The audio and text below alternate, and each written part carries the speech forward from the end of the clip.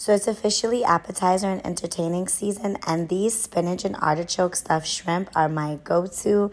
Anyone I've ever made these for absolutely loves them. Hostess if you want to entertain this holiday or if you're having seafood Christmas, you got to try these out. So you're going to peel, devein, and butterfly your shrimp, and then you're going to season them with some oil and all the spices I've listed.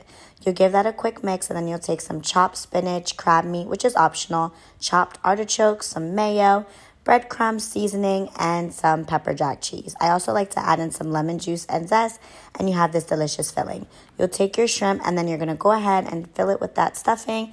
I like to make a little ring in my cast iron skillet so it looks beautiful. And halfway through, I just go ahead and drizzle some garlic dill butter sauce on top. Guys, when I tell you everyone loves these and the full recipes on my blog, enjoy.